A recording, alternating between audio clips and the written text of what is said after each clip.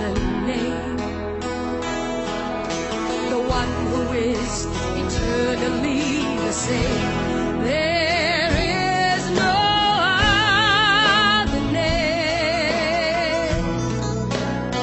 Worship the Lord, one who I am the great I am.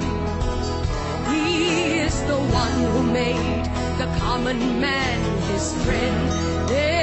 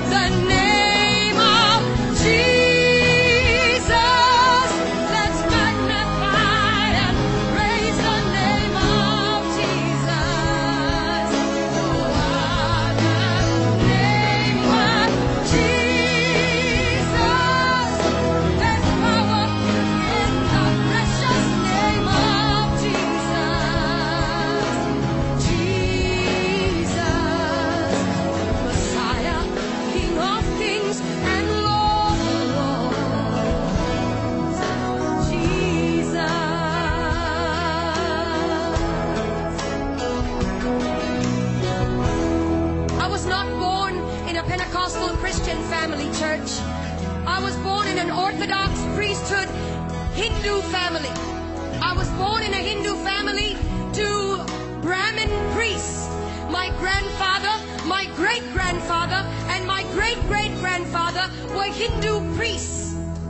It was unthinkable and offensive for a daughter of a granddaughter of a priest to come away from that system. I was so hungry for God. I was so thirsty for God. When I was born at the age of, of six days old, I was dedicated to Hindu demons in a cave temple. I was left in a cave temple, and from that moment on, my mind, my spirit, and my soul was overtaken by demonic forces that I had no control over. I could not control these forces, they controlled me. Every decision I made, everything I became. I began to learn to worship the names of over 2,000 gods. Over 2,000 gods by memory. It was required of me, it was required of the priesthood. And I, as an obedient daughter of a priest or granddaughter of a priest, I learned the names of 2,000 gods. At the age of 19 or 20, I was so hungry for God, but I did not know His name, where He was, who He is.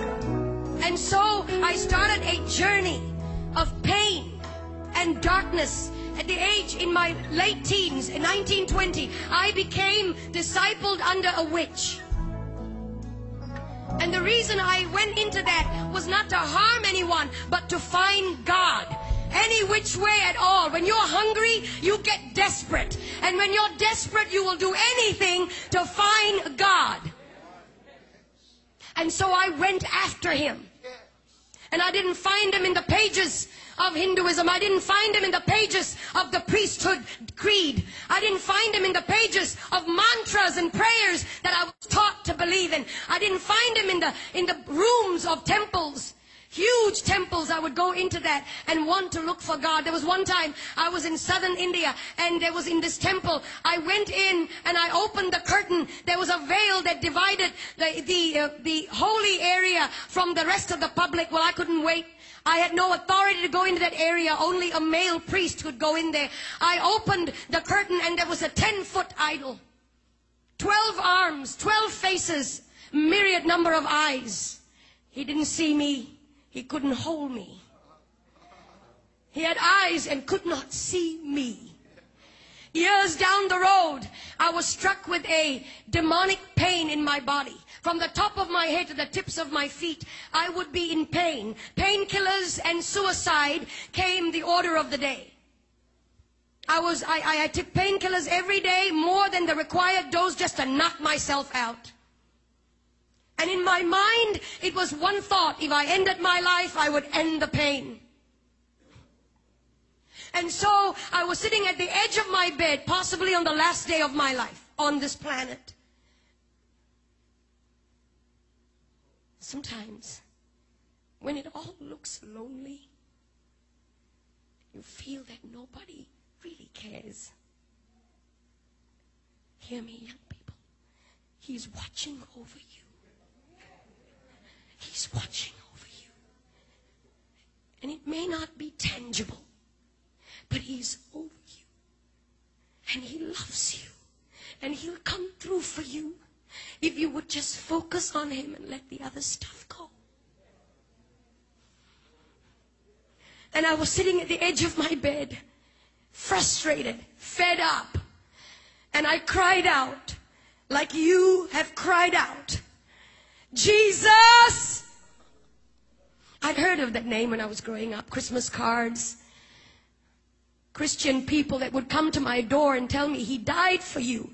And I would resist them and argue with them, proud and arrogant of the priesthood that I belonged to, ignorant. And when I cried out, Jesus, the presence of a holy God began to filter through that room. That room was darkened, the lights were switched off. I was sitting on the edge of my bed. I never saw his face, but his voice was as audible as anything that I've ever heard before. I am Jesus. I am God. And he touched my body. No doctor could cure the disease that was in my body. No doctor could heal me young man, no doctor could provide the answers. Nothing out there can. And I've been there, done it, and I've tried it. Everything, the darkest road, I've taken it. Gentlemen, and he came to me. He touched my body. In an instant, that disease left my body. In an instant, I was healed. I began to feel his power and his presence course through my body. And then I went into this tiny church, about 50 people, and somebody up in front there looked a bit like this platform, and somebody up on this uh, was talking about going into the water. That if you're baptized, you become a new creature. Well, I didn't understand that either. I was wondering how water can make such a big difference. What's the big deal? We take showers every day. I went up to this preacher man and I said, Will you put me in this water? Because everything and anything he wants me to do, I'm ready to do it. He has set me free. He has healed me. Anything and everything. No matter the price. No matter.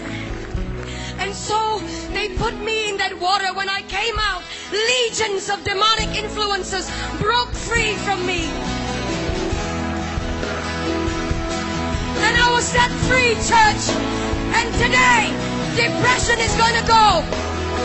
Heart disease is going to flee. Jesus is in this house. He's here.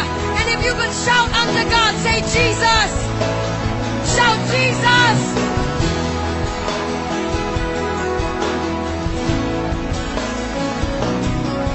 He's the one who said, I am the great I am. And then he gave himself a sacrifice